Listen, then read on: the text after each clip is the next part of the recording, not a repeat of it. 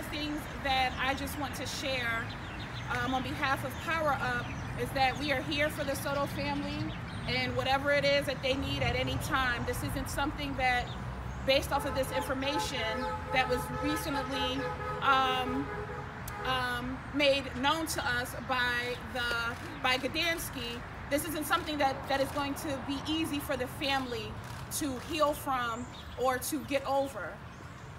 The other two things that I want to touch upon is the first thing, um, because they knew he had a history of mental health issues, if I am in labor and I am needing someone to help me while I'm in labor, I'm not going to go to a podiatrist.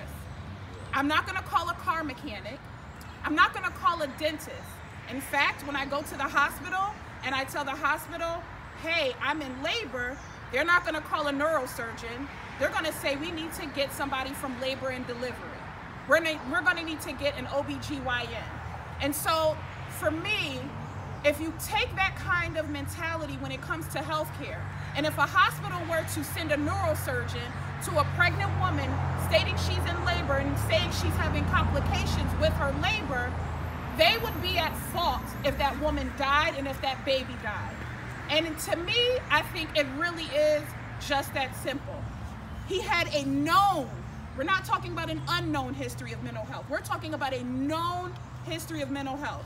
And so once that was communicated, even before SWAT or Tolland County's version of SWAT, Crest Arrives, you would think that they would go into it handling it with a lot more care and concern, and they didn't.